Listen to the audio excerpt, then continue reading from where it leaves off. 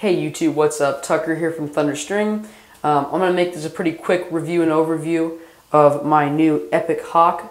Um, I want to say thank you to the fellows up at Epoch for sending this out because that was very kind of them. Um, this is the stringing prototype, guys, so this is not game legal or game ready. They're still working on it. Um, I strung it up with a absolute high, insanely awesome, beautiful pocket. Um, some nice channel on there, guys. Put it on a saber shaft, just works around with it.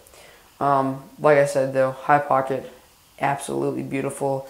Um, I'm taking um, some classes at a university by my house on um, uh, photojournalism and video um, journalism. So I'm going to be doing a lot more video for our YouTube channel, guys, and a lot more professional. So trying out my new camera, Canon camera here, just seeing how it works out tonight, guys. Um, it's very late. It's about 11:35 here in Ohio. Um, so I'm going to make it pretty brief and just touch on this new head from Epoch. Uh, first off, I'm going to say that this head was fun to string, and I'm not. I'm, I don't say that on many heads. Many heads for me are not fun to string. They're they're stringable, like you can string them, and they're kind of a pain. But this one here, uh, I strung it two times.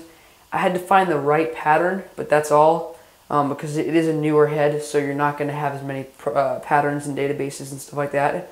So after I figured out a pattern, as you can see, uh, I really knocked it out of the park with this one, and it looks beautiful. Um, but I feel like this is going to be an awesome head when it comes out. It's going to be one of those things that kind of catches the market by surprise, almost like the new Thompson head coming out, um, which I think is going to be great for the market. New innovation to this kind of sport is absolutely amazing, and I welcome it.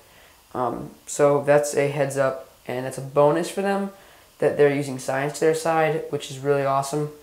Um, but yeah, overall, guys, a 9 out of 10 for this. I absolutely love it. It has a ton of string holes, as you can see, just ridiculous amount. Um, nice bottom string holes. They did a cool little bottom string down there. Um, it was very fun to string. Uh, and it's a very, it's the entire head is a matte finish.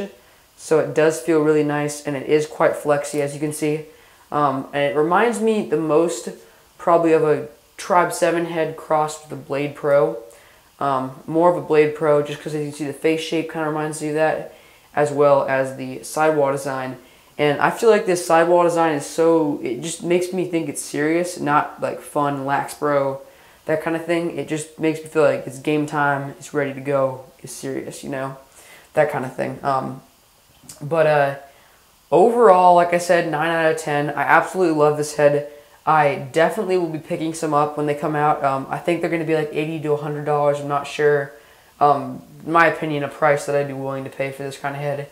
It's quite beautiful, quite easy to string, and overall is just a very well-made head. It's um, it. I feel like they really put a lot of effort into this one, and it should be respected for that. And I think that's just something that needs to happen. Um, but guys, uh, Epoch did amazing with their first head. I'm so happy for them, and I feel like if they continue to make heads, I will be a supporter because these are awesome heads, and for the price, it's not a bad deal at all. So guys, check that new Epoch Hawk out on epoch.com, and you guys uh, should definitely try to pick one of these up when they come out because they're just like they're like amazing. I highly recommend them, guys. All right, guys, check us out on YouTube, Thunderstring, and also we're gonna have a new Facebook coming up pretty soon, so check us out in there. And subscribe, guys. We still have a giveaway going on. So uh, yeah, good luck with that. See you guys later. I hope you have a good summer season, and I will have videos up soon.